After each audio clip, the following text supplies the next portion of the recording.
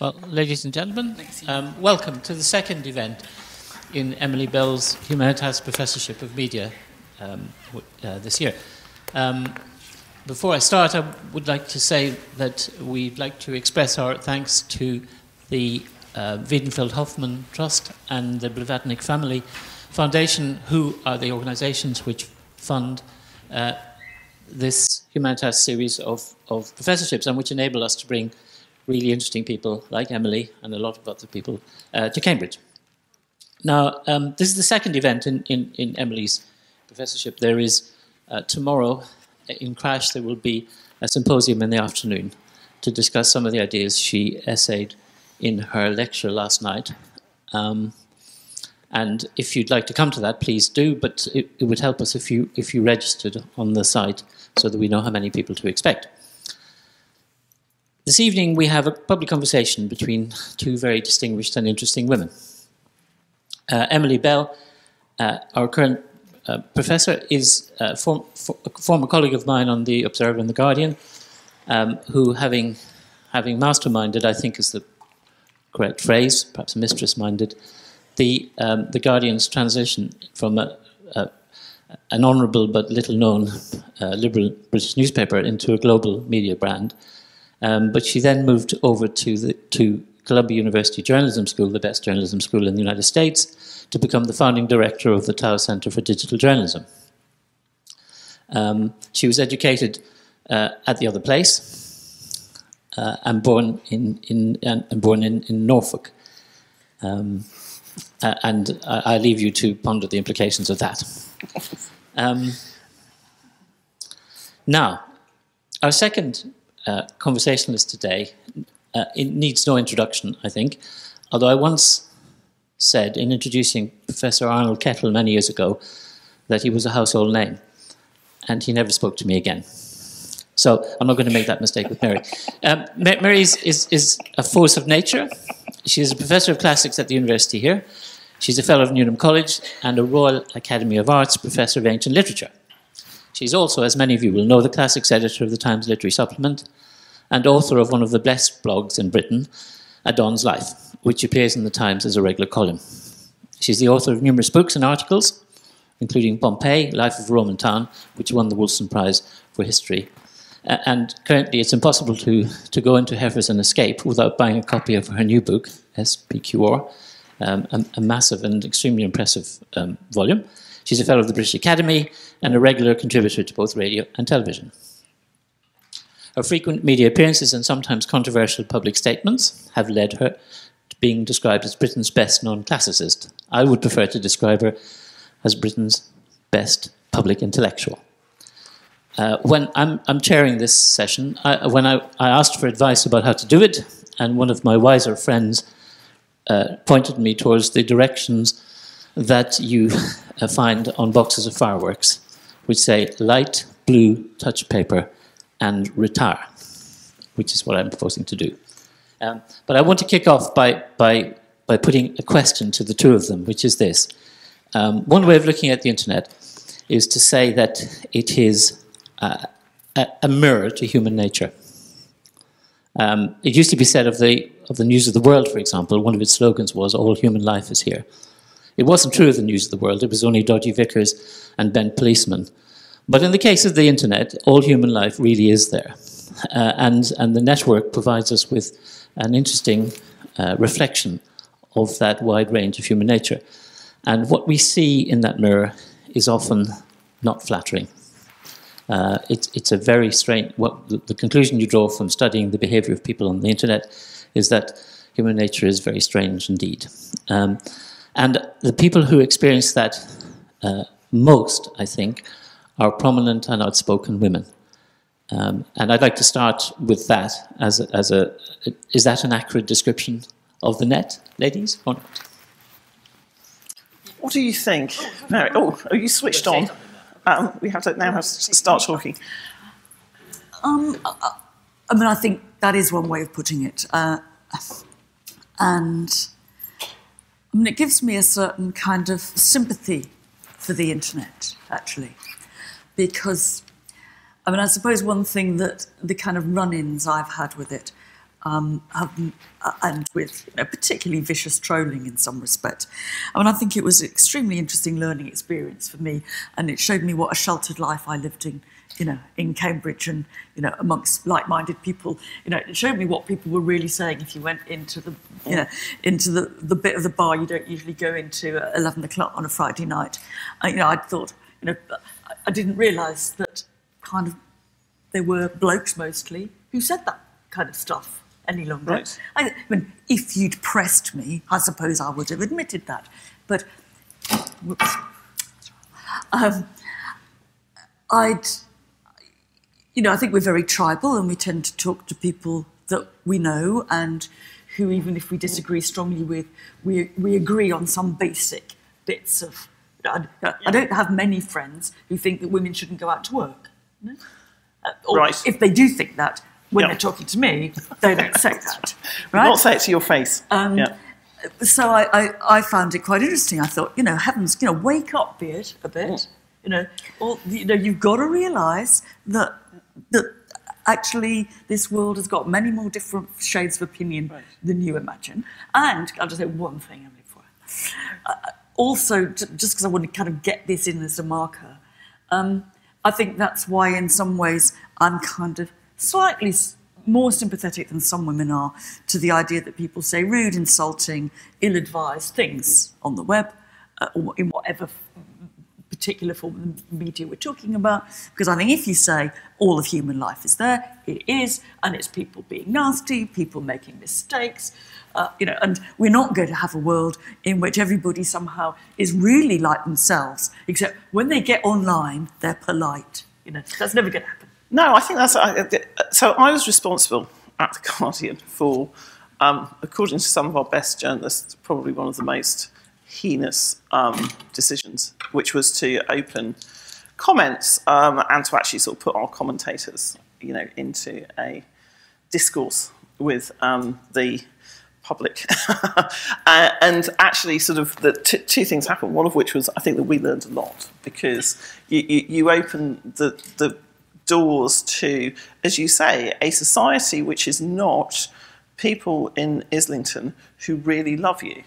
Uh, and a lot of our uh, columnists were under the impression that the world was full of people in Islington who really loved them.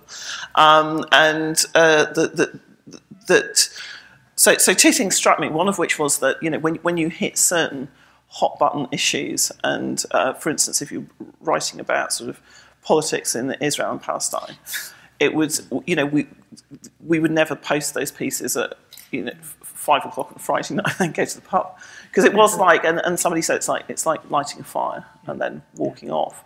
But also the other thing was I, it made me think quite hard just about how we set the tone of public debate. And sometimes I remember, I remember uh, being mauled in morning conference at the Guardian by a columnist who had a particularly sort of ferocious to and fro in the comments beneath their piece. And they said, well, this is not, you know, these people are not our readers. They don't want it. They, they want to destroy us. They're, so, they, they're rude. They're, da, da. And on the front of the Guardian that day, we actually had not even a headline, but what they call the masthead right at the top. Um, we'd got a picture of Boris Johnson, who's not a person I, you know, particularly sort of warm to, um, but we'd said something like, you know, uh, Boris colon, and then used a series of sort of adjectives about him that you would certainly never have gone up and, and said to to a person like sort of bully, racist, something, something. And I wonder what you think about that because you know, just that sort of your we were just talking about how approachable you are as a person, which allows and, and that per, your personality ca- sort of carries with you into your broadcasting, into your online persona. Um, and so you, you kind of do, I wouldn't say you're inviting trolling, but you invite certainly sort of engagement. Yeah, and I mean, I think there's there's a whole spectrum of responses that you have to this. I mean, I I wonder now how many people who write comment pieces, imagining them as print comment pieces, but they're online and so they're open to comment. Um, I wonder how many of those writers now have continued to engage with the commenters underneath the line. Because the, the, you know, the thing that you, you hear when you talk about, when people moan about um, the kind of under the under the line world in a newspaper. Yes, below the line. You know, below the line, below the line, under the line. Um, you'll hear lots of people say, "Oh, I never read that." You know, one thing I know, I, you know, that, but I never read what's, you know, I never read what they say. It's just awful. I never read it. And you think, well, look, actually, there's a funny replication going on of the sort of um, of the, the power structures about who has a right to a voice that the internet somehow claimed it was going to undermine.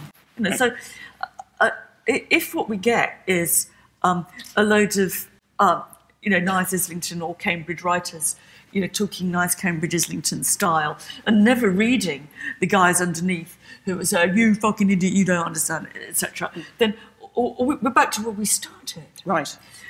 And yet, if you, what I find is that I try. I don't always. I do try to read.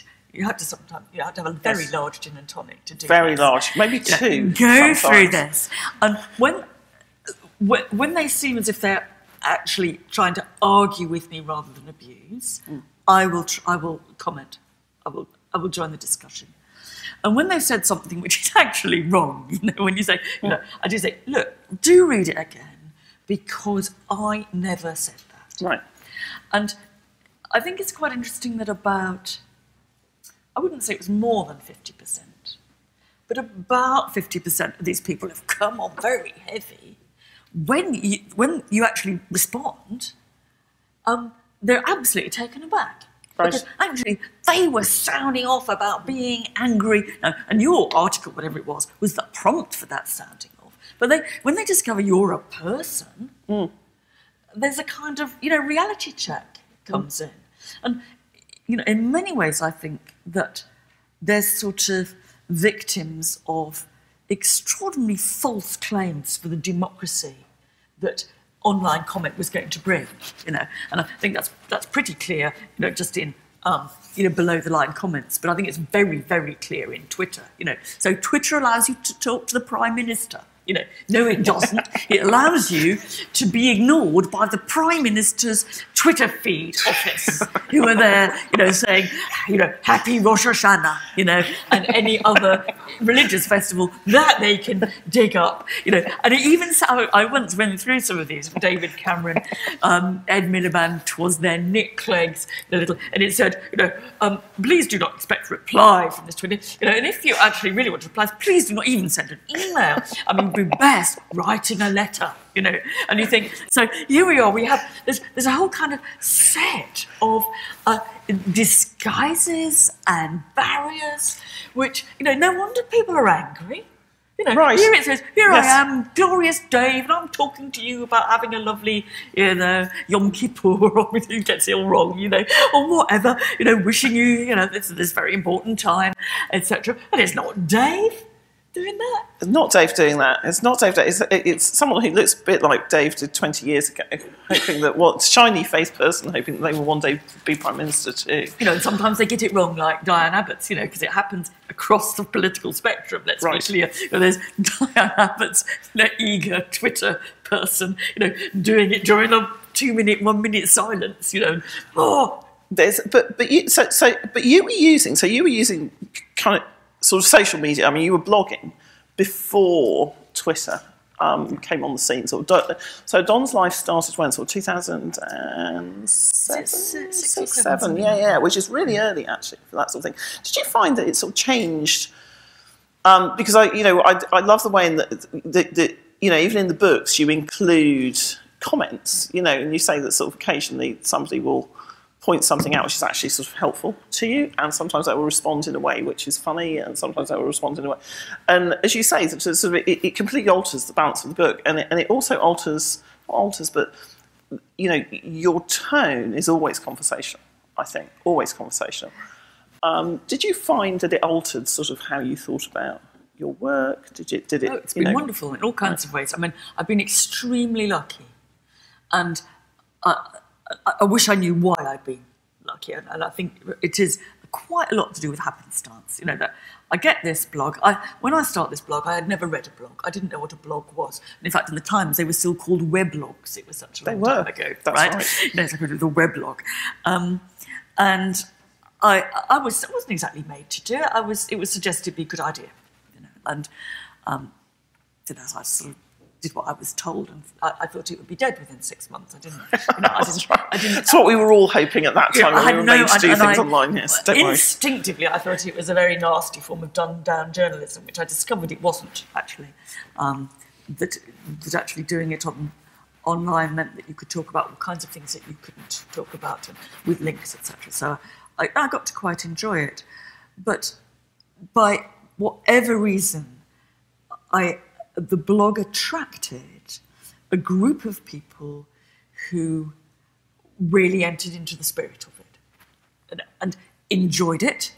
Um, and I've met some of them now because when when we published some of these blogs and we published the some of the comments, we had a party uh, and the because I thought I was just ripping off the comments really. We'd asked them for permission, but the least they might do is get a party. So I had a party. So I met the people there, of course, discovered that the demographic was, you know, well, they were they were generally older than me. Generally older. Generally older That's good. than me. Yes. Uh, and I like it when that happens, Yeah. incidentally. When I go into a room, teach at university, Okay. going into a room with people who are generally older than you is, I, and, and they're not actually dying. Like it's not a hospital. That's a treat. No, I it is a find. treat. I really It's like that.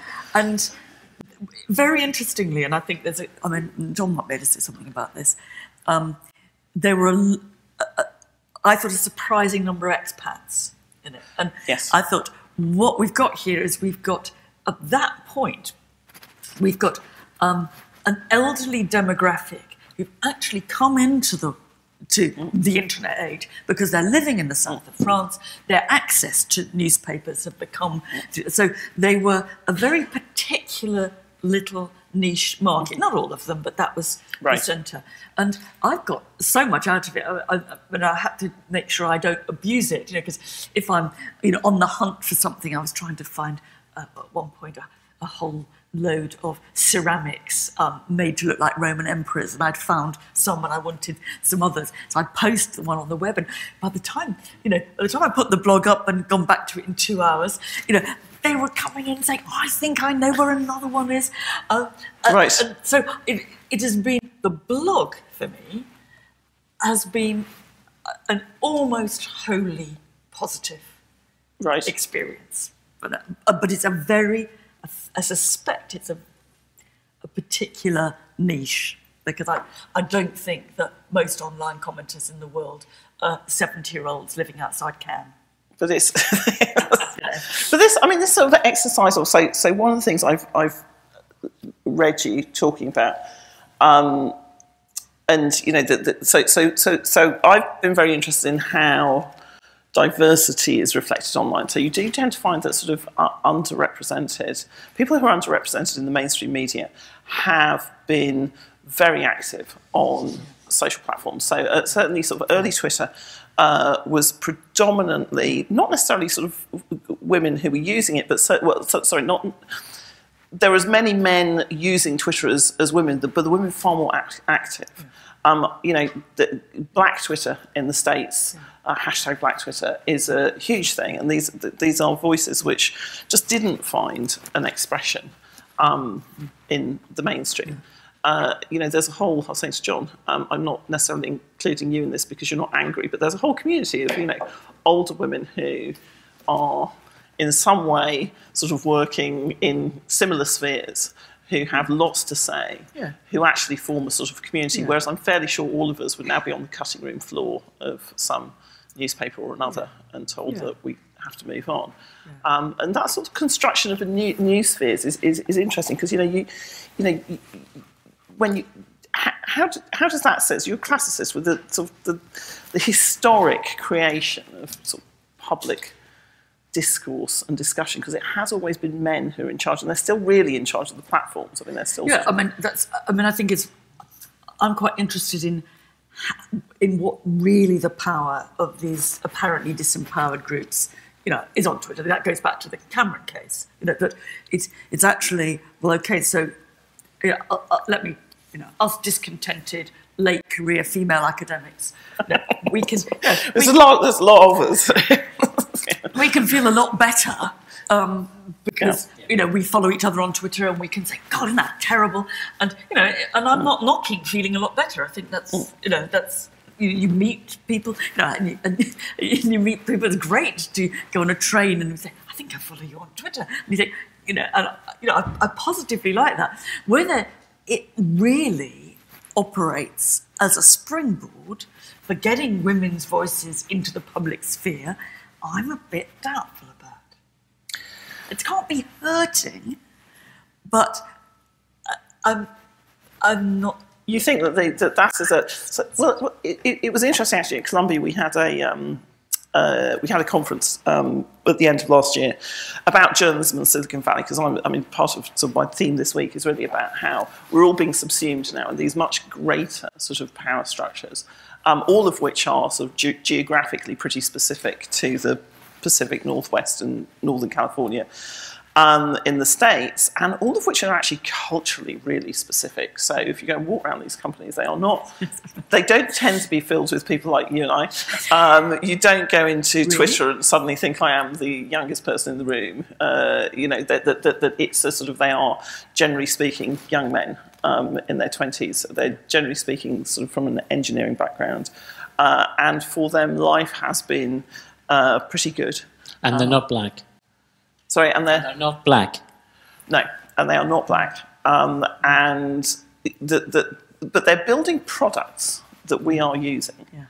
and that sort of sh- shape that. And as you say, so those sort of controls, does it matter if we have, as you say, so, so, so what's the leap that we have to make that takes us from the consumer and the sort of activist into actually sort of the realm of power? Because I'm a great believer in representation. I think you have done huge amounts by being on the telly, engaging with people on issues like age uh, and feminism um, in a popular context, which actually hasn't happened for years and years and years. I mean, you know, I was talking to some young women the other day saying, imagine I'm 50 now.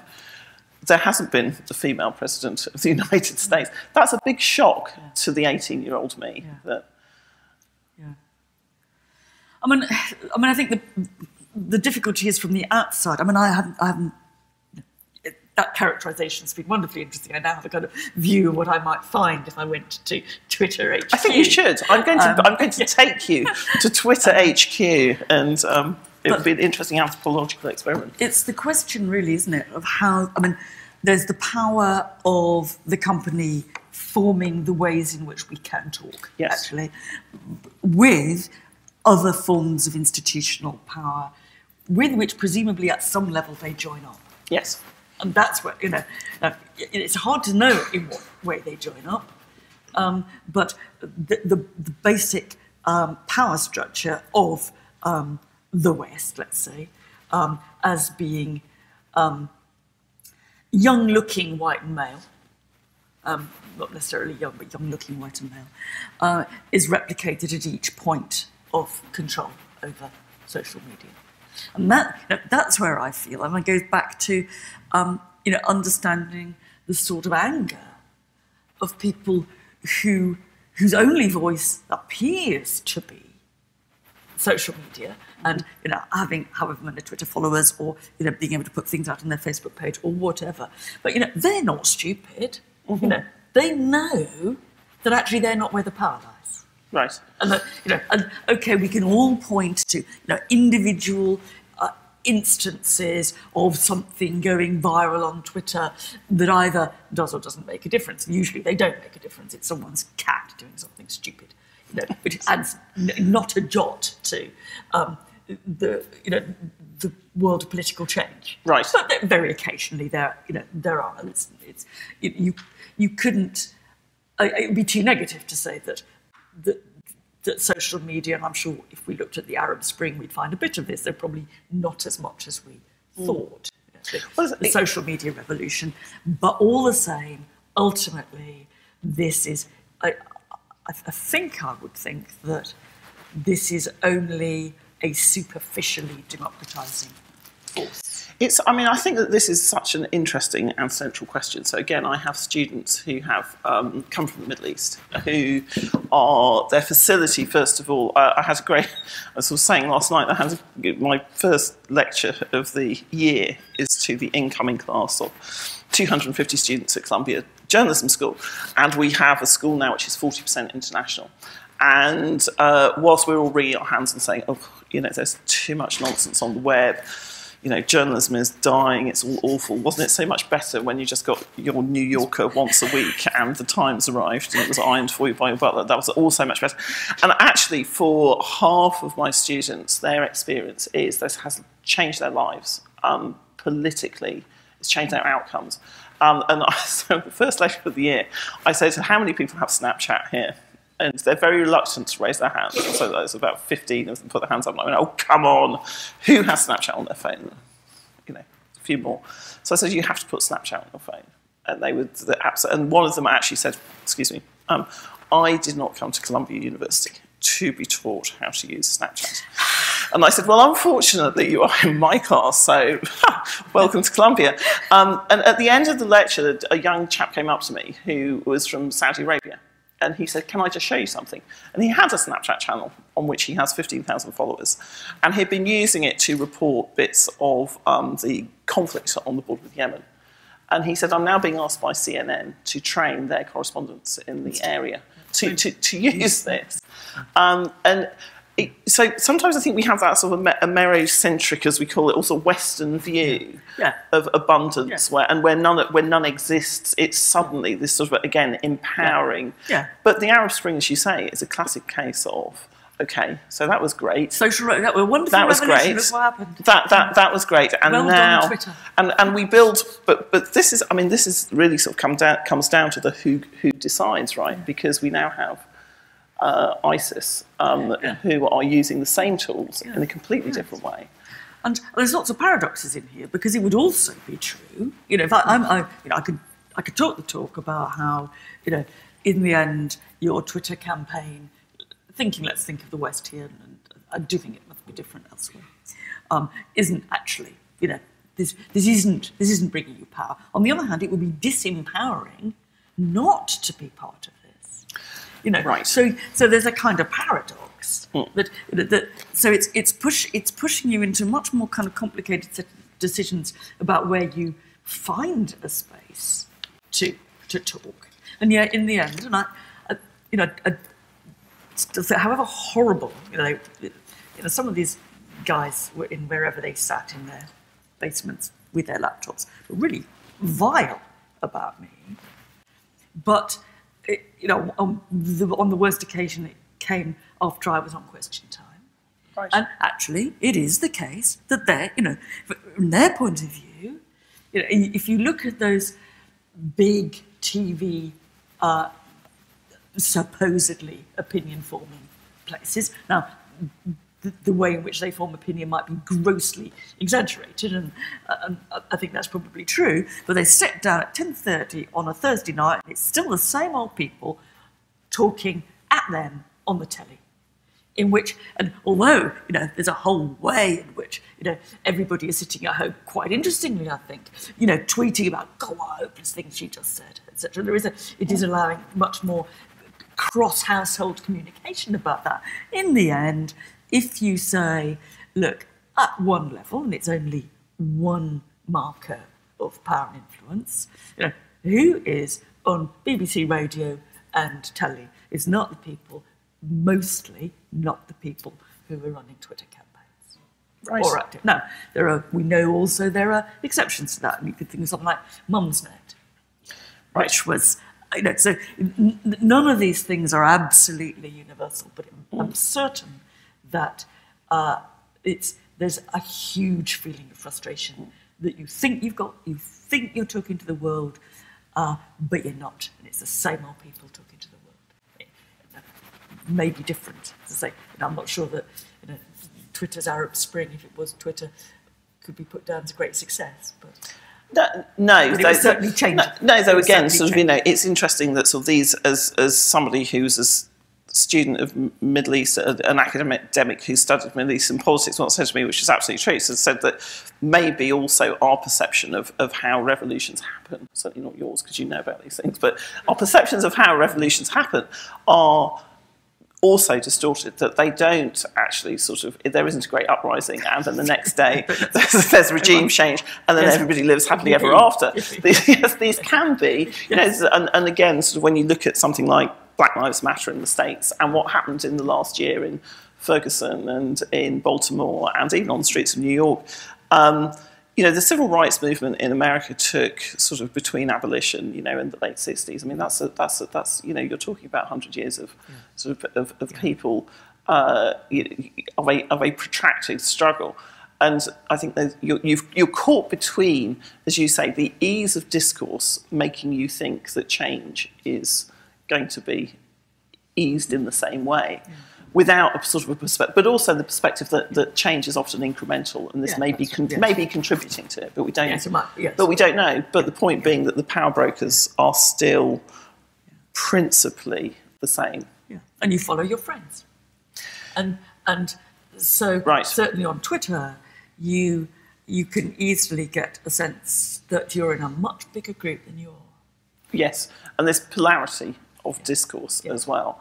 What would we do? So, so Mary, you've got sort of experience of um, thinking about how um, ancient civilizations created different ways of thinking about discourse and democracy, etc. So, if you were, I would love it. I would love it if you were, in fact, chief executive of Facebook, um, or, or indeed Twitter. If what are the kind of things that that because I do think that these companies haven't really thought about what scaling discourse means, uh, and th- and so they're sort of caught in this binary of open it up, shut it down. What are the what are the sort of lessons we can take from history and say think about this when you're designing your next set of products? So I think that's quite a, if you, from from my bit of history. You know, I don't know what it looks like. With the, you know, we were to talk about the early modern pamphlet revolution. I don't know how Right. that would feel. Um, uh, I think my bit of history would give them some quite important counter examples, you know, because um, you know you can walk through the streets of Pompeii. And you can see, I suppose, what the ancient equivalent of social media, loads and loads of graffiti. It's Yep. a town in which is whatever the level of literacy is communicating to itself in you know not much more than 140 characters, frankly, in most uh, scratches that are up there, um, and you see it being almost entirely male, and you see it being um, strongly sexually insulting. Um, you see it in that case being anonymous. Um, and then you think, you know, so you think, when I look at that, I think, is that like social media now? Or is it quite different? Right. Male, anonymous, 140 characters.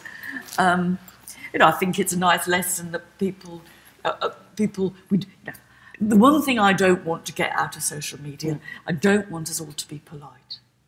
you know. Right. And I think, you know, I, you know, I work in uh, an intellectual, well, academic field uh, where um, things that would, you know, be close to having people arrested and put in the nick uh, are happily written on walls. Um, and I think it's, you know, there's, a, there's quite a salutary message there. But otherwise, it, it is, you know, you'd say, you know, what is it that would enable us to have a set of uh, social media that didn't, that weren't rooted in that. What you know, what would we need to have it different? And at that point, it's very hard to know because you know it isn't it isn't the fault of these young men Twitter. No. twenty something. They're just doing what young men have always done in controlling the world.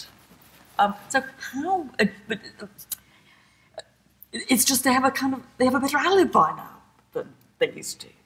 Right. Because the social media, uh, you know, isn't it is in some senses a substitute for a wide democratization. I think. What would you, how would we change it? Could- What, could- what would you do to change it? Could, could I just in, uh, just interject for a second, following that up? Um, Emily, when you were making decisions about commenting Yeah. on the Guardian sites, Yeah. um, there, there, must have been an argument, and I think there was an argument about whether or not you should allow anonymous commenting, or whether you should uh, ensure that people, if they want to comment, they had to own their comments, as it were, with their own names. And the decision was made not to require yes. people to use yes. their real names. That's right. Um, I was a great proponent of anonymity um, because I felt that, uh, first of all, um, part of journalism is all about protecting your sources. Now, there's an argument within journalism that says you should allow, you, should, you shouldn't have anonymous sources. You shouldn't allow people to be quoted anonymously, that you should always tie, uh, tie, their, tie their names. I mean, two things. First of all, um, quite a lot of the comments that we would get, uh, and I, I, would say that these were more than the comments that caused us problems, but quite a lot of the comments that we would get would be from people who were talking from a point of view of personal experience about something which was uh, clearly not something that they would ever want tied to their real name. You know, they don't want discussions about their sexuality, they don't want discussions about their mental health. They don't want discussions about workplace bullying. They don't want discussions about their families. They don't want any of that tied to. And I sort of don't forget this was actually pre-social media in a way. So what we found was that sort of in, in some of our communities, and not necessarily you know the communities three sort of really big kind of you know political debates of the day, but somewhere buried in the sort of the family you know kind of pages thread, you would actually get the most extraordinary conversations from people who didn't have an outlet, you know, and and I I think that sort of this idea of giving voice to the powerless, uh, we've seen with Facebook that if you request, nobody ha- and this is the other thing, nobody has one identity. You know, Mary and I and you, we have one identity when we're here. I will have another identity when I'm talking to my mother. Um, I will have another identity, sort of, you know, when I'm talking to my kids. I'll have another identity when I'm talking to my friends, and they're all sort of more or less linked. But there are bits of my life where I wouldn't want, I'm not going to have a conversation with my students that I would necessarily have with my husband. And I think that's fine, and I've, I've, in a sense, quite internalised that justification. You know, and I think it's a, it's right. a strong justification. Nevertheless, when I'm in a conversation um, online and I'm Mary Beard and I'm talking with Scary Cornflake, I don't feel that this is a conversation which is a, a conversation of equilibrium. Right. I, I think so. You know who I am, and I don't know who yes. you are. Um, and you've got a silly little name, which is actually both a protection, mm. but it's also an affront to me because I'm sitting here and I'm, uh, you know, I'm going to say, I'm Mary Beard and I'm happy to engage with you but you're not telling me who you are. So I think the bit that I, I was always sort of slightly at variance on is that I just wouldn't have engaged. I just don't engage. It's like, okay, so, so there's a point at which I think if you don't want to be reasonable and you're not going to tell me who you are, I'm not going. I'm just not going to talk to you. It's like it's like it's like why would you? You wouldn't do that in a. And and I've become. I, I sort of think, but but I think the bit that I got wrong probably when we were designing this is just that as you say, actually what you're doing is you're asking people. So, you know, you know, you're on the telly, and we were talking about this earlier, that, you know, actually part of the requirement in a way of your job now as a journalist or as a broadcaster, sometimes even as an academic, is to actually yeah. get out there and talk to people. I so we, we have classes here, I think. I think for how to use social media more Do you effectively. Have classes at Cambridge, does so. Cambridge University have I classes for your academics? I think to... it does. I think I've had something coming around saying using social media to get your research out there Wow. Just do it, for God's sake. Just do the fucking stuff. yes, I was going to say, just open a Twitter account and start tweeting. Yes, you don't really need a. You don't. Oh, actually, but this. I mean, but this is interesting because again, you know, kind of you were an early adopter. I was an early adopter. In a way, I think that's sort of early phase. You're allowed to, to, to. I mean, what I find with students, which is absolutely fascinating for journalism students, is that many of them they're all using social media. None of them are using it professionally. Lots and lots and lots of them, for instance, don't use Twitter because they've suddenly understood that something that you put out there, you have no control over. So, you know, it's, it's, like, it's like when you, when you write a story, when you say something on television these days, it is like pulling a pin on a grenade and rolling it sort of with your eyes shut, really, because you don't know whether it's going to hit the target. You don't know if it's going to land in a sort of, you know, go, go over the edge and sort of, you know, not explode. Um, and sometimes it's going to, you know, you know, end up in a pool of petrol. And, and you can't you know, everything you put out there has potentially the equal reach to something on the front page of the New York Times, something on the Today programme, something on 6 o'clock news. and it's that I think scares people from engaging or being out there. And I wonder whether, again, we've made the sort of, it's a bit like sort of, you know, the, the, by journalists going on and on about sort of like the, the, the terrible sort of bear pit that social media is, it's generally sort of made people feel a little scared.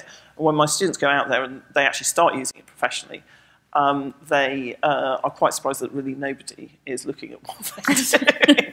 They're sort of There are like, also, oh, the truth on. is, also most people are quite nice on Twitter. Most people are quite nice. That you know, Yes. if, if I, you know, I've probably had um, a, a rougher time than many people, but still the balance comes out as more people are really nice, actually, and they comment responsibly.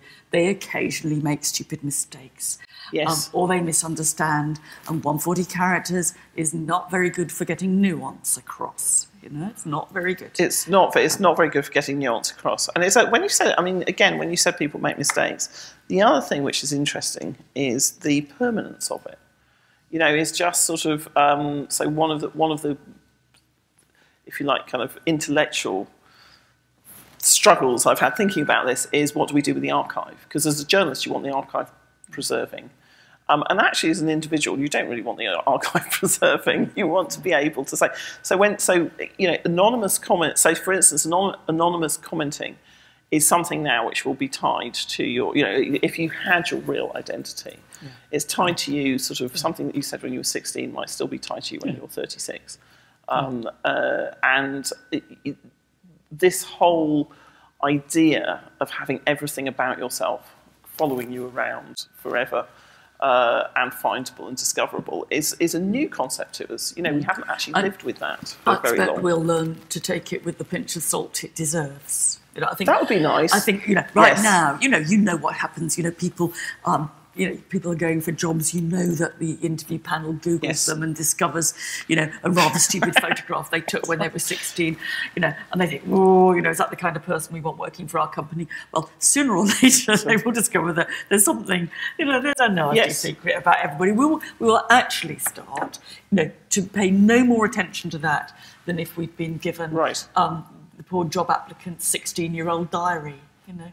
And I, I, I think, th- I think time will help us just get a bit sensible. Yes, about it. conventions. We have great. If we have faith in humanity, it's, to, it's that we create our own conventions and sort of, again, societies really, mini communities. And I mean, I, I do. th- I feel in a very different generation from some young people now, who, but hmm. only it's only very recent that people have grown up thinking, actually internalizing some conventions about social media.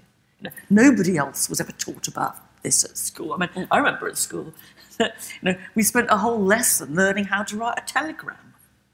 You know, That's very and, good. You know, and, and, you know how you were going to get it to, to save as much money. It was no different really from Twitter. You'll Right.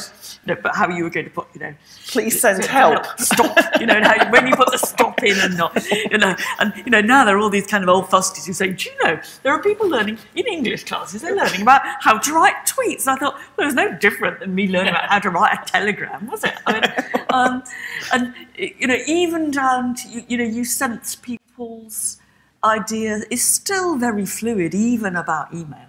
You know, the, you know, you know, you know when you write a letter because we were all taught it. You put the address at the top right corner, you put dear so and so, Yes. and then you learn when to put yours sincerely or yours Yes. faithfully, and then you have your students saying hi Mary, and you think no, you know, Smile- yes, dear- or they put dear professor, and you think crawler, you know. Uh, so you know it's very hard to, to get it right. It's hard to get it right. Smiley faces. I send smiley faces back to uh, students, or sometimes sad faces, and occasionally disappointed or puzzled faces. Kisses. But, uh, yes, The number of bloody kisses that people put in emails that they would never put if they were writing so- a letter. You know, So now- I rather like the passive aggressive kiss at the bottom of an email where somebody sends you some terrible sort of like, could you just do this appalling piece of administration yes. that you're really, really, and then you go, I'm really sorry, I must have missed this somehow. I'll get onto it right away. And a very small kiss right at the bottom, which you, and you imagine as they open it, they go. Yes, No, that is worse than the I'm terribly sorry I've I, am terribly sorry, Miss your, your supervision. I was, you know, I was, you know, I, I don't know what came in, but I wasn't feeling very well. You know, love Cressida, kiss, kiss, kiss, kiss, kiss, kiss, kiss, and you think, no fucking No, don't, don't, thank don't, don't You know. send me. Do No not send me fucking kisses when you have missed my, Yes, your yes, supervision. Yes, that's right. That should just be an That's it. automatic bounce back to all students. But I think that actually I'm rather confident about the British education system and English teachers. And I'm sure that out there now there are people who are learning how to write. Just a simple email. a simple email to your professor when you have Yes. missed their class. Yes. And it's probably best not to say I wasn't feeling very well. No, that's right. I think neither am I. Neither am I. I never feel very well. Whenever I see students, I feel slightly poorly. So it's actually that's not true. They're a joy and a delight. Um, but the other thing, actually, there's sort of just sort of t- touch on sort of one, one thing which is, I think, really interesting. It's very relevant to universities uh, at the moment. It's particularly sort of you know I think an issue in the states and increasingly here, um, which is the sort of the no platforming. Um, so so one of the things I wonder about the effect of uh, sanitization of discourse. So one of the things that, as you say, what you don't want to do is you don't want people to just be polite everywhere. And one of the things that um, I worry about when I look at the, the the kind of thinking that's going into how should Facebook sort of keep you know conversations. It's like everything. Uh, it's almost like the everything is awesome world. Um, and then you have you know sort of Twitter saying, right, okay, we're really going to start um, flexing our muscles on trust and safety. Uh, and it sort of sometimes can, can play into you know real life spaces where you know in universities people are saying well you know we have a right to be protected from offence, uh, which is a very um, new uh, and, and and difficult uh, I think line to negotiate. Um, I don't I don't know sort of whether and, and to, to me but some of that feels as though it comes from the sort of the moderation culture. And it, it comes online. from it comes from a combination that kind of moderation culture, and also a whole generation that's been built, brought up with safety being a mantra in a way that it Yes. wasn't Right. to us. That you know, you know that uh, about whether you were safe on the school trip, you know, whether you know uh, how many people were allowed in the boat. You know, now okay. uh, I think health and safety could be knocked too far. You know, you know. I don't Yes. want people falling off ladders or people drowning. You know, because nobody's cared about health and safety. But it's there's a discourse of, of safety, which Yes. you know it, it's very very odd. I think to you know, to be someone who feels quite old, of a of a sort of an older generation who is really keen on risk. You know, and Yes. somehow the whole world seems sort of it's turned upside down. Right. That and and I always thought, and I of course there are difficult boundaries here. Of course there are difficult boundaries, and anybody who thinks that they can draw an easy one between free speech and hate speech, Yes. that's the problem, isn't it? And Yes. it- and there's no simple answer to this. Well, that's But I think that the world of ideas is a most dangerous and worrisome and uncomfortable sometimes place, and so it jolly well should be.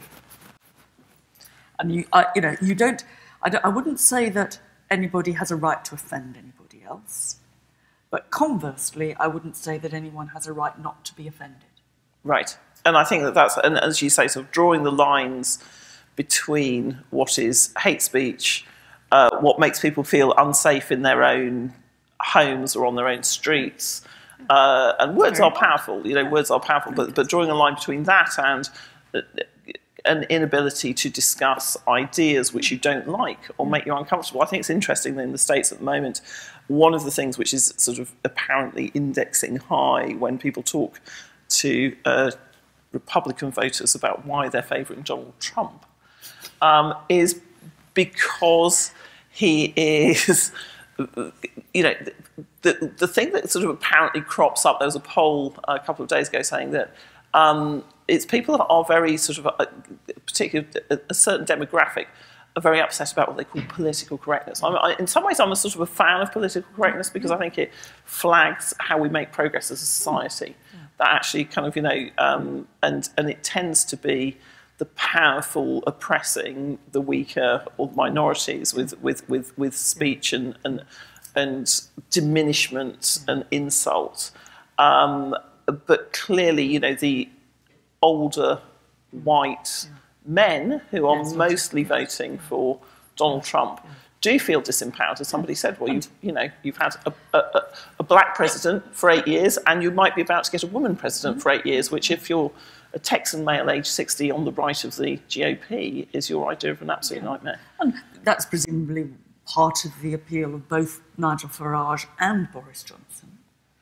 But I think we, I mean, the other side of the Seems as though that's it's not a bad thing that these people are never going to get elected, does it? It seems like and a it, very good it may thing not to me. be a, a bad thing that they're there, so long Right. as they're not elected. I mean, I think that's. You Right. know, I think there are many different roles to fulfil in a, in a, in Yes. a productive political society, and Right. as long as we don't have Boris as prime minister, he might Yes. be a good thing to have there.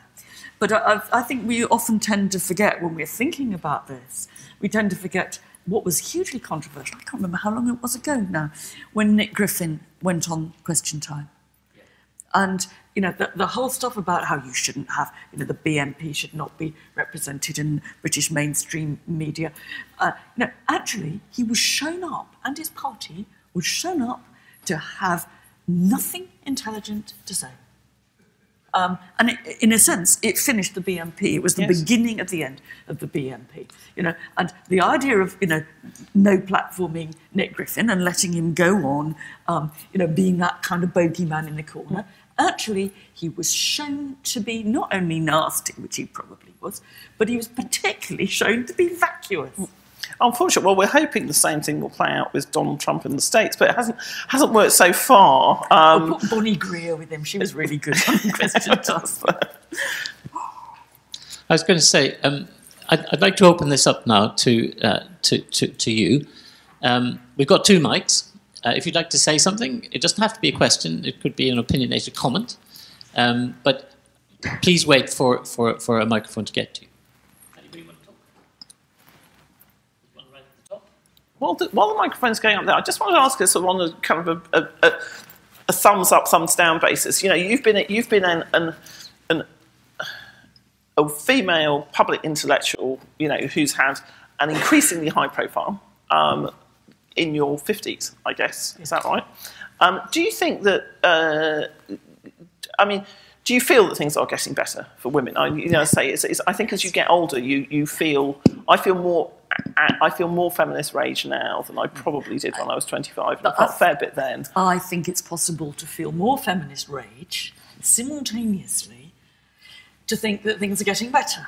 You know, I mean, anybody who have been in this university over the last, what is that, just over 40 years. I mean, you know, you know, when I was an undergraduate, 12% of, of students were women. Right. I mean, it was a man's world. Uh, you know, you'd, you'd go into classes still, and people would say, "Oh, you have the ladies here," you know. Now, and actually, they weren't the worst offenders because those that were kind of quite overtly sexist were quite easy to deal with. It was Right. the ones that were sexist in their heads that Yes. were difficult to deal with. yes. You know, the liberals, Yes. they were the worst, you know. Um, uh, who's, you know, who still thought that women should be at home doing you know. Or that women should have a totally different relationship with power, Yes. which Yeah. is the same Yeah, same thing. that's So right. even if they thought they were very pleased that you were there, Yes. they were still Yes, a, right. little bit curious And about when- why you thought it was okay to And whenever they used the word ambitious of a woman, it was not a compliment. No, not a compliment. Hi, so I, I just had a really kind of quick, um, vague observation which may manifest itself as a question, and I certainly hope will. Um, so I was just curious about what you were saying about Nigel Farage, Donald Trump, um, and, and Nick Griffin being given a platform in question time. Um, and, and what you're saying about political correctness. I mean, my kind of impression of the Nick Griffin question time, I mean, I'm very far from. Sorry, can you hear me, Dan? to the man, to the mic. No, I'm, I'm very far from expressing any sympathy for Nick Griffin, but I think that kind of reinforces what I might be about to say in, in any case if I, I say that, that, I mean, my impression was he was not exactly given a fair hearing in the sense that, you know, everyone knew what he was going to say was kind of bollocks. And there was a great chance for the three other people to gang up on him and sort of have a laugh and to show that they weren't racist. And, you know, and he, but, you know, I agree, it completely demolished him. But to me, what it showed was kind of the strength of the BNP being mainstream taboo to kind of be able to quite safely dismiss them and gain popularity points for being so. And the difference between him and Nigel Farage, who has some you know, really quite reprehensible, you know, policies and opinions too, is that Nigel Farage kind of he taps into a sort of annoyance at at PC and political correctness without quite managing to step in and say something taboo. And even Donald Trump, you know, I mean, I, I wouldn't say he doesn't say extremely politically incorrect things, but he steers clear of saying, you know, like something overtly you know, very, very overtly racist. Oh, I'm not sure. I think saying that Mexicans are rapists and villains, uh, and he's going to put every time somebody says they aren't, he's going to put another ten feet on the wall. Is I mean, he's been very selectively racist, but he has been sort of, as it were, the ultimate racist bully by picking on, you know, particularly a sort of a minority group that he feels he can get other minor- minorities to back him up in, in, in picking on. I mean, he has been, to me, he's been like a living embodiment of the producers. He's been saying the more and more and more outrageous things in the hope he doesn't actually have to give up his rather nice lifestyle and start being president, uh, which in America is a really shitty job, job. a really shitty job. Um, but I think he has been, I think he, uh, and I think that's what's shocked the sort of the political establishment, but also sort of made the media kind of, and again, social. So all of it's been conducted through social media. Really, he's he's had this constant running that with fuel, fueling sort of the debates. But it's a very interesting. Uh, exercise in when somebody just says something which is completely wrong all the time, not like provably, demonstrably lying. So when he said, after 9 11, people, there were thousands of Muslims in the streets of Newark, New Jersey, celebrating. Well, first of all, there aren't thousands of Muslims in the streets of New Jersey anyway. Secondly, they absolutely weren't celebrating. Thirdly, even the head of police said, this is made up. And people didn't care. People were like, I don't really care if this. And he said, Oh, I don't, you know, I, you can say what you like. I know what I heard. And Yeah, that's right. In a much more anodyne form, it comes over, you know, to go to Boris, you know, Boris's complete uh, fabrications about EU reg- regulations Yes. is one of, you know, the, you know, EU regulation says that no child under eight can blow up a balloon, you know.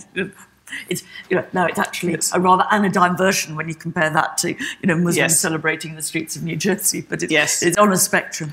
But it's also so, so it gives you a problem as, a, as as journalists, which is do you cover things which are not true, which you know are not true, um, because it's free speech and this is person's a candidate and should you be giving it coverage? Should, should you be giving this coverage, or should you be thinking this is actually factually incorrect? What we're doing is we, we're contributing to, and and it has led to sort of media being completely paralysed in the states between we just need to report what a candidate says versus saying actually some of this is not just contestable, it's completely wrong. Can I go back to, to Griffin because I think I mean in some ways I, I mean I see your point. I could I could do the argument I think like you're going, which is that you know what what we had was not a debate. We had um, the British liberal establishment of whatever its political colour um, ganging up on a supposed outsider, um, and I think that's true in the end, I, I find myself not particularly bothered by it. I mean, you know, I, I, I don't, you know, in my heart of hearts, I'm not sad that that happened Nick Griffin. Now, I, I, and I, you know, I can see, I can see the logic, and I can see there would be cases, instances where it would actually be much more damaging. And I think possibly, you know, if you were Nigel Farage, what you would say is that it was the British establishment's refusal to hear these things um, that have left us partly in some of the messes that we're now in. But, you know, but in the end, um, I'm not going to have a sleepless night. No. About, you know, I'm glad he went on there, and I'm glad he was shown to be an idiot. So I just wanted to say, I mean, I'm, I'm certainly am not meaning to kind of you know weep hmm. over Nick Griffin's media fate No. um, or, or express any sympathy for anything he said. Hmm. I suppose really, really, really, We're being really ever so careful here. yeah, what I really wanted to get to was just, I kind of feel like you, if you step on something taboo, hmm. certainly in, in UK media, then it can be an absolute, I mean, David Starkey say, you know, it can absolutely blacken your name. But if you manage to just toe the right line of um, saying something that's just overtly horrific um, and tap into sort of general discontent and come across as plain speaking and down the pub, then you Yes, get lots of yeah. popularity points, Yes, it seems, from people who are right. who almost would want to say the worst stuff, but would you know, but but would ta- would, would mm. you know endorse whatever kind of common taboo, which I think is a very mm. useful taboo there is for saying them, and it's a bit kind of negative to say, well, you know, I mean, maybe we only avoid saying some, you know, maybe many people only avoid saying some things because it is just taboo rather than because they mm. actually think them. But mean, it seems to me that you know, like on the one side, you you know, you you get torpedoed if you say some things. On the other side, provided you kind of say things which imply to people who would like to say the horrific things that you're on their side, you actually get a popularity boost. I don't know if that's true if you do. You know, un-PC is. I mean, to, to, I think to, sort of tonally again is uh, you know sort of something that we learn through performance. I mean, one of the things about Trump is he's a performer, um, and so tonally, he this sort of bombastic pantomime presence, which gives the impression, which I think is probably tied to the truth, that he really doesn't care. People find enormously appealing. Well, they don't like a sort of politicians who feel that they really care about their own power. That sort of makes them, in a, in a way, sort of feel weak and unleaderly. But also, you know, sort of Trump put. Uh, I mean, the, the interesting thing is just how it shifted the. Um, I mean, this is where I do sort of again struggle with it, which is that he shifted the bounds of acceptable debate definitely further right for something like immigration, which wasn't really being sort of it wasn't really front and center of the of the debate, and it allowed for a sort of an extremity of language to enter the debate. And you could say, well, that's a really good thing. I don't think that sort of some of the things that are being said would be at all beneficial to America uh, if they were then implemented. Actually, if there were policies that were implemented. But it's a, but it's a kind of an interesting thing. It's just that, like the bounds of acceptability is a really interesting issue. Hello, thank you very much, uh, Richard Danbury. Um, uh, I've got an anecdote uh, uh, uh, and a point. The anecdote is a Griffin anecdote. Um, and it's, uh, I used to work on Newsnight, and um, I, I think, was one of the first people to put him on national TV. And we had enormous angst about whether to put him on national TV and we got a lot of um, we got a lot of criticism afterwards for doing so. Our justification for doing so was to give him an opportunity of making a fool of himself uh, and to prepare a very coruscating interview. And surprisingly, he did very well, and we weren't able to um, uh, uh, land as many punches as we want. So that leads to the point, which is sometimes um, the the the uh, in the answer to, to, to dangerous speech, sometimes the idea that there should be counter speech and more speech, sometimes that, that's actually dangerous and it doesn't work. And it, as a journalist, it gives you an acute difficulty, which is what you're saying, Emily, um, of whether to cover it or not. Um, and the second observation was that I think there are distinctions in, in this question about where the balance of speech um, and banning speech lies, in, in, obviously in America and in the UK. We're very much more, and in Europe, very much more relaxed about banning speech, particularly hate speech. And in America, they're much more phlegmatic about it. So I think there are cultural differences, which, of course, the internet elides. Also, I mean, the interesting thing about America is that it thinks it's actually the home of free speech, and the First Amendment is a very wonderful thing. America is an enormously conservative um, culture, you know, and it's I have to keep reminding myself it's founded by Puritans because they don't like they don't like to drink at lunchtime. They don't really approve of anyone smoking. Um, they really wish that I would spend more time in the gym. You know, they are not they are kind of they are not people who, and and discourse is incredibly self censored. Nobody swears in America. Like if you if we sat up here and said it's fucking ridiculous, it would be on the front page, almost on the front page of the New York Times tomorrow. I mean, you know, in that sense, so so so there are, you know, there are kind of so, so freedom of speech is is manifest in all sorts of ways, and and, and the First Amendment is is one protection, um, but there are things, you know, you, I, I think in some ways, sort of Europe, you hear much more frank and free discussion.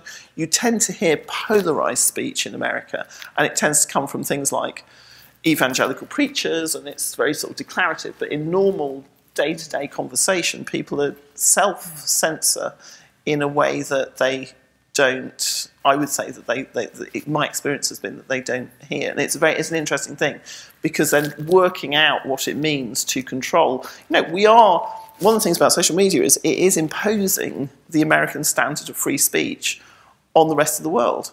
You know, it's like sort of the central terms of use for Facebook or for Twitter become really the default Yeah. standards of speech for everywhere.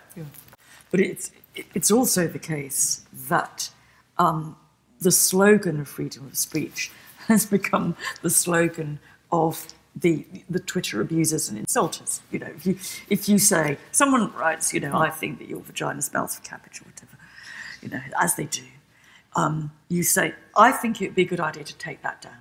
You know, now, obviously you you use a very moderate form of phrasing, which of course, as they spot, instantly gives you the moral high ground. You know, they they've said your vagina smells of cabbage, and you say, I think it'd be a very good idea if you took that tweet down.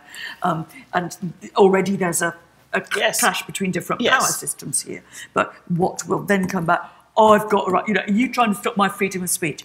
I have a right to my opinion. I've got a right like, to my opinion. I've got a right, and it is, uh, particularly in 140 characters, it is very hard to say, you know, that, you know, this is not something, you know, there is no universal right to hear freedom of speech. We know that. There never has been, you know. Right. You know, Yes. you, you know, you do not have a right to, you know, it, it, never mind modern issues of, uh, of racism, etc. You don't have a right to say, let's all go off and kill, um, you know, X who Yes. you don't like. You do not have a right to incite.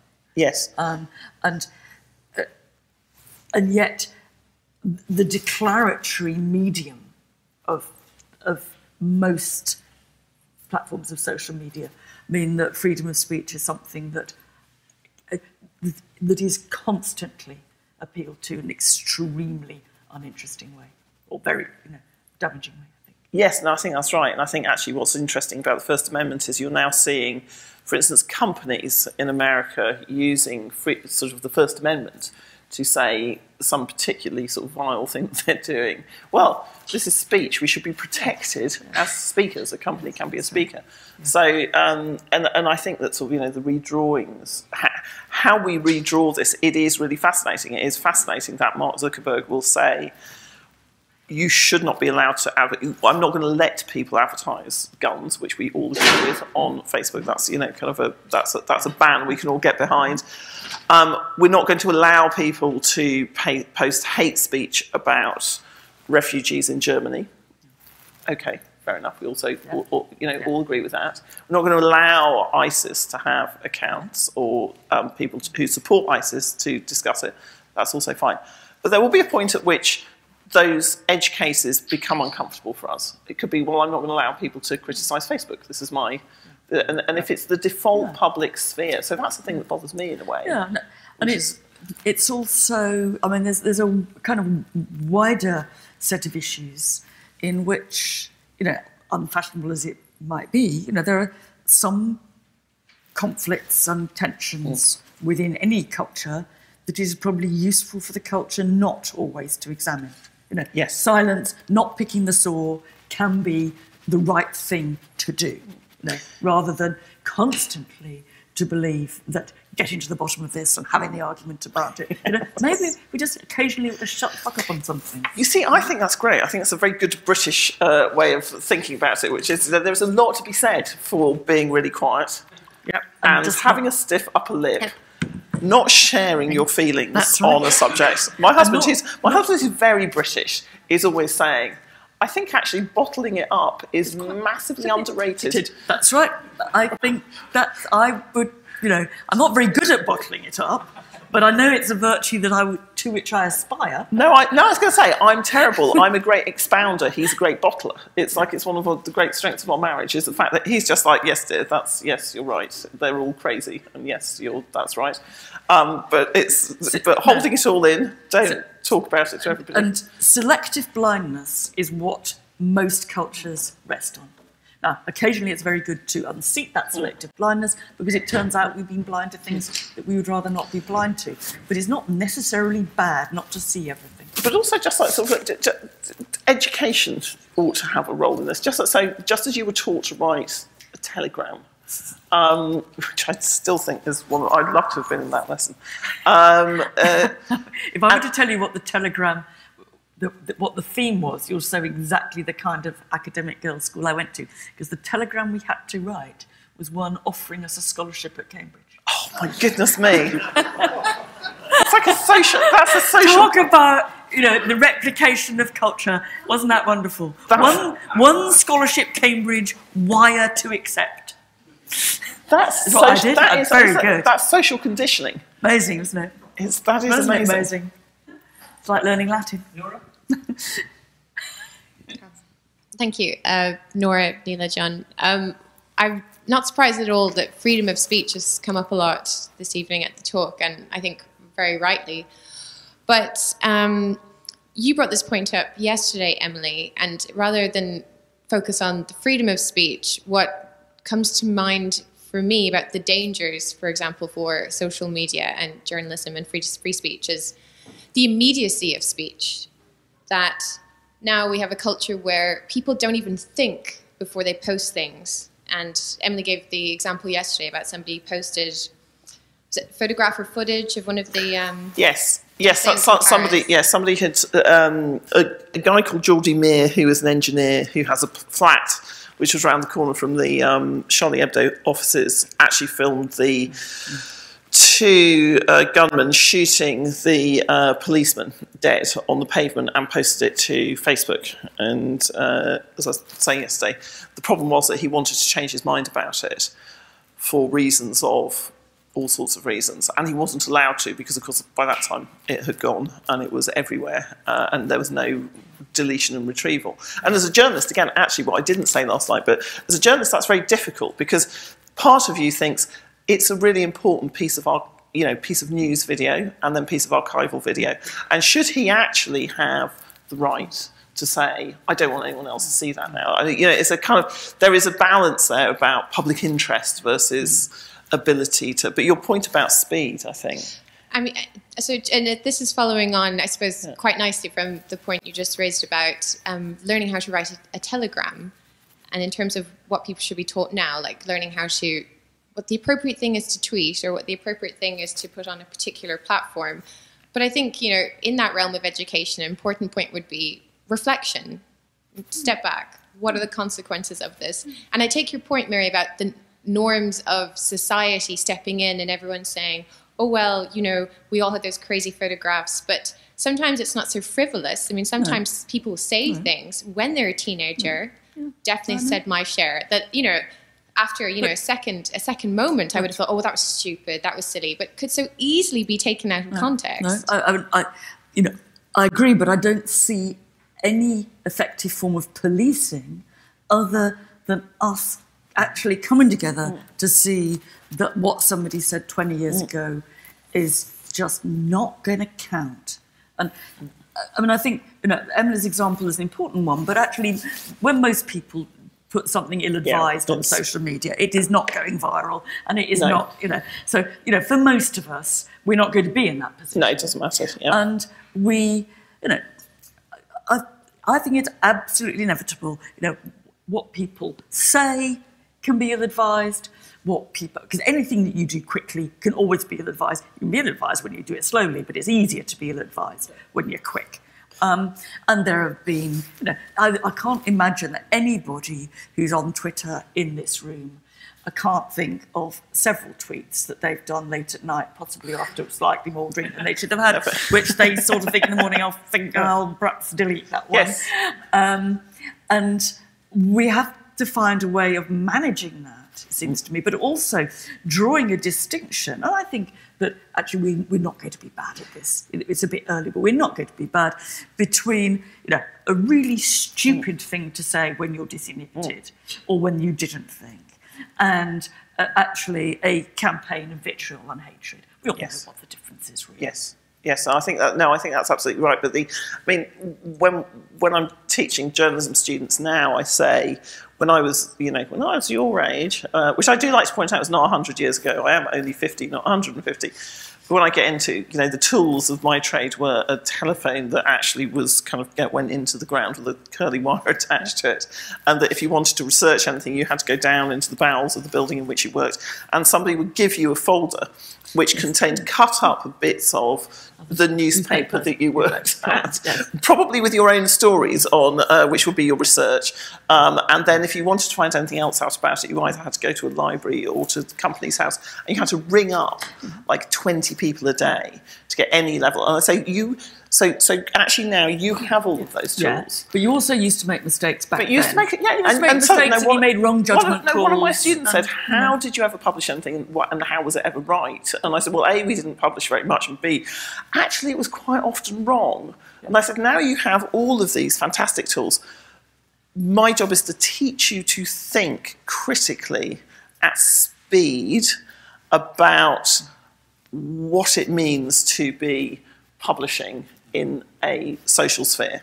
Um, and what it means to be a journalist in particular, what that sort of, you know, kind of what what what that what that identity carries with it, and how does that feed into your reporting? How does it sort of feed into how you relate your stories to the rest of the world? Um, and it is a lot about, I think, reflection is a really good way of putting And it. the but- problems configure differently, but they're not. They're not in essence uh, qualitatively different. I mean, there's, there have always been debates about um, you know, what kind of war picture. Or in my lifetime, there's always been debates about what kind of war photograph you have on Yes. the front cover. You know, Don McCullin. You know, and on, and uh, that it, it it feels different when Yes. it's so quick, and it feels different when it you know, when in a sense you know that it's gone to, it's been retweeted, you know, 5,000 times within Yes. the first hour. It does feel different. Yes. But the, the basic moral dilemmas are not different. No, I think that's absolutely. I think that's absolutely right, and I think that, but we have to keep sort of. We, we never stop. I think one of our one of the mistakes that we're all prone to a little bit is thinking, well, we've had that debate, we don't need to have it again. And so, so one of the things is just that the, the re-education sort of is, a, is an ongoing You know, process. every generation has to, you know, sit in their class and do the equivalent, whatever it is, of writing a telegram. And, you know, have to learn all these. And we, you know, it is, you know, it's a work in progress. We've never got it sorted out. You know, and what we just decide to be blind about, what we decide to be insulting about, the, you know, you know, there isn't, there just ain't no right answer. And I, and I think that no, one and we of- hate not having right answers. yeah, and we that's hate it. one of the kind of anxieties that I feel caught between.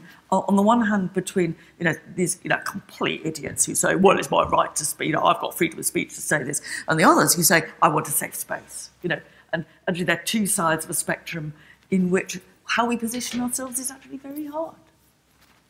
Just to finish very quickly on that, that I completely take the point about education definitely um, providing a role to address that. Um, and in terms of you know having to police it, you know I definitely take the point that you know there are definitely problems, but to kind of step back and take this position that well that's just the way it is. That's the internet. It just retains everything and everyone will access everything. I feel like we're feeding in to that culture that you brought up, Emily, about these are the norms from Silicon Valley. This is the freedom of speech uh, North American culture. Yeah. Whereas, you know, in Europe, there has been some pushback in recent years, like the right to be forgotten with Google. Like Yes. nobody, you know, in Silicon Valley saw that one coming. So- but it does represent, you know, this other pushback, other norms, like not just education and gradual incremental change within the community, but more immediate pushes back against that kind of environment. Well, I think, I- so I think one of the things about this is that um, America is, ge- and I don't mean this sort of in an insulting way to my American colleagues and friends, um, but until you live there for a period of time, and then sort of Mary's lived there for a while as well, you don't realise really what being in a capital, genuinely capitalist society means. And the market, you know, the market is right in America. The market is right, and the government is wrong, and that's the sort of the default position Yeah. of society. That, and they fought wars about it. You know, they really did. And so, so whereas I think your, your point about your two things, we've had far more sort of conflict in. Uh, uh, and we've had it among people who live very close together than America has had. Uh, and so there's been a necessity, sort of political necessity for it. Um, but also, you know, that in terms of how Silicon Valley go about thinking about these things, right until now, and we're talking about four or five of the biggest companies, not just in America but in the world now, uh, that the you know, and some of those companies going to a trillion dollars in sort of valuation. That's a sort of there's there's a there's a there's a you know, there, there is a meme that says, I'll just sort of carry on getting bigger and bigger and bigger.